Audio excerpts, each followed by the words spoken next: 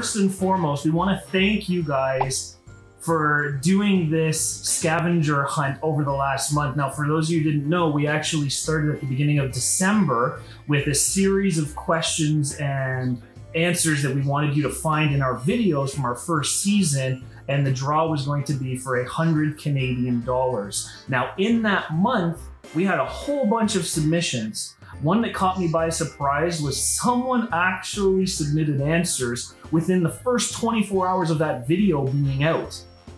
I I couldn't believe that. That was that was crazy. I, I knew we were going to get some people filling in answers, but first 24 hours, and the the draw ended last night. Well, I shouldn't say the draw, but the the submissions ended last night at 11 o'clock, and we had people submitting right to the very end. So, guys, everyone who participated, thank you so much. This has brought a lot of joy to Jody and I to be able to bless someone this year it's been a very difficult year for everyone. So the fact that we were able to bless someone today uh, with this gift of 100 Canadian dollars is just absolutely amazing. So thank you so much. Uh, before I give the name of the person who won, we just want to let you know that the next video that's going to be coming out on YouTube is going to be a very important video.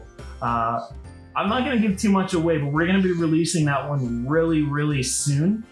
So Joey, you there with me? Okay, uh, are we ready to do the announcement?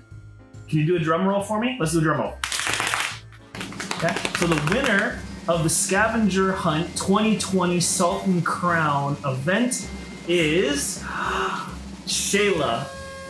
Shalagh got the most answers right.